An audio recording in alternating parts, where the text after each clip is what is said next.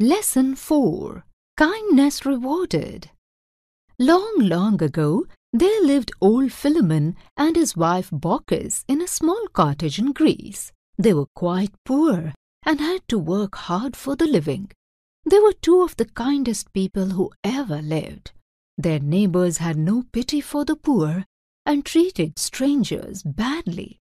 One evening, two strangers came to their cottage.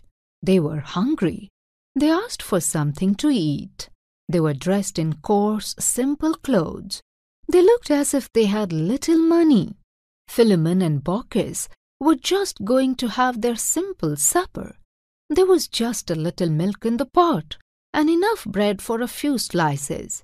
However, Philemon welcomed them in his cottage.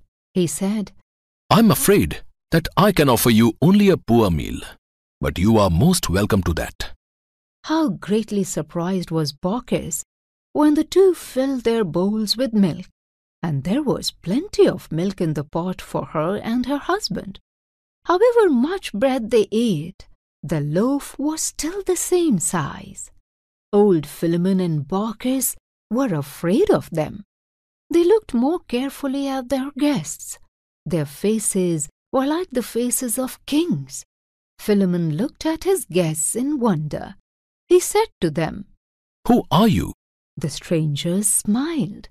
The younger one said, This is Jupiter, the king of gods, and I am Mercury, his messenger. The two old people fell on their knees, but Jupiter said, Don't be afraid. We have come to the earth to see how men behave. And we are pleased to find two souls, so poor and yet so kind hearted. I know your wish that you should die together. Be it so. Now look at your cottage. That is your reward. They did so.